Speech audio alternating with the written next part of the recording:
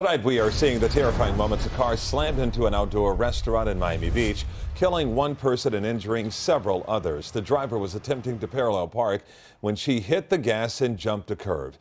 Local 10's Rosh Lowe live now with what the video shows. Rosh. When we first covered this story, we could only imagine the horror of these diners sitting outside being hit by a car. Now we don't have to imagine anymore because we're seeing the video.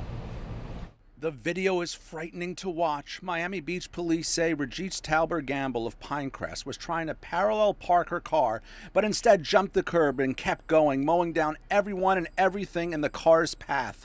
A tragic accident, no criminal charges. The surveillance video captures it all. Six people, including a three year old child, were hurt. Gary Prince was killed. It happened February 24th at Call Me Gaby restaurant.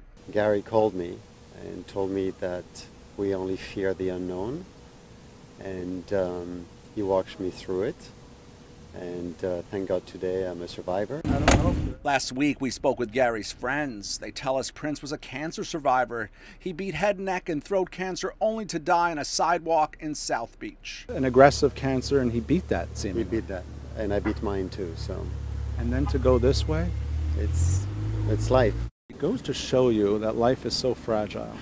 Fleeting is the word, man. It's uh, it's just not supposed to be that way. You can see the Bentley fly backwards and the valet workers putting their hands on their head in disbelief.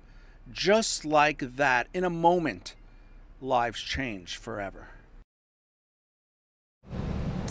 Yeah, so tragic. Gary losing his life in this situation. You saw there on the video how everybody, all those witnesses, could not believe what they saw. Once again, though, just a tragic accident according to Miami Beach Police. We're live on Miami Beach tonight. I'm Rosh Lowe, Local 10 News.